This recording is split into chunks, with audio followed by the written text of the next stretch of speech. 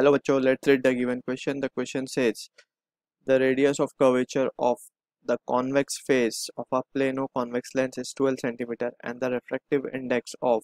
its material is 1.5. We need to find the focal length of the lens.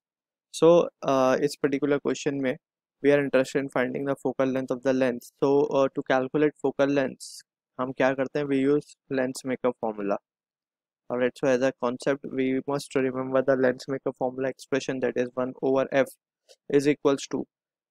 refractive index of lens upon refractive index of medium minus 1 into 1 by r1 minus 1 by r2. यहाँ पे r1 r2 are the radius of the refracting surface r1 जो है first refracting surface का radius है r2 is second refracting surface radius mu l is refractive index of length refractive index of lens और mu M जो है refractive index of medium है जहाँ पे वो लेंस रखी गई है और F is the focal length so यहाँ पे अब हमें प्लेनो कॉन्वेक्स लेंस दिया है।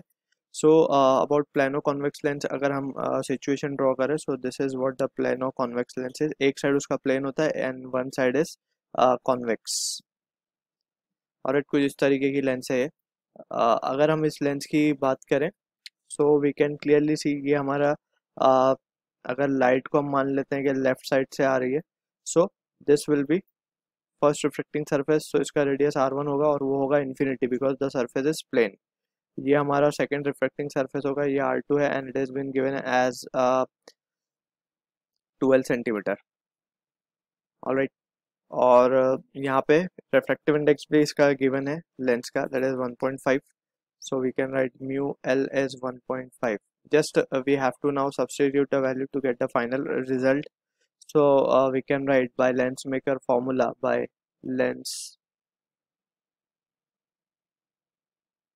maker formula हम कह सकते हैं one over F is equals to अब ये लेंस क्योंकि मीडियम एयर में रखी हुई है so mu M will be one so we will write one point five minus one ये नीचे वन लिखने की तो ज़रूरत नहीं. And refracting one over infinity अब हम अगर बात करें साइन कन्वेंशन की so in the direction of light हमें सारे मेज़रमेंट पॉजिटिव लेने होते हैं। That is in this direction all the measurement will be done as positive और opposite to this measurement will be taken as negative अब अगर हम बात करें आर टू की, जो कि सेकेंड रिफ्लेक्टिंग सर्फेस है तो उसका रेडियस यहाँ कहीं लाया हो रहा होगा on the left side and सारी चीज़ें ऑप्टिकल सेंटर से मेजर होती हैं so it will be on the left side so इस तरफ़ मेजर होगा और लाइट की इंसिडेंस राइट तरफ़ है so it will be taken negative so ये बन जाएगा positive and this will be one by twelve and अब इसको हम अगर सॉल्व कर लेते हैं so it will be point five और वन बाई इन्फिनिटी तो ज़ीरो हो जाएगा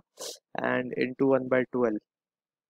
so F की अगर हम बात करें सो एफ़ की वैल्यू आ जाएगी हमारे पास twenty four centimetre so this is the focal length we are getting I hope you understood the solution all the best